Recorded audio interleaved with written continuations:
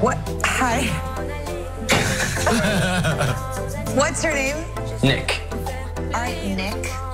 How young are you? 22. Uh, Nick, you know you're like a handsome gentleman, correct? thank you. Do you have a girlfriend? Uh, no, I don't.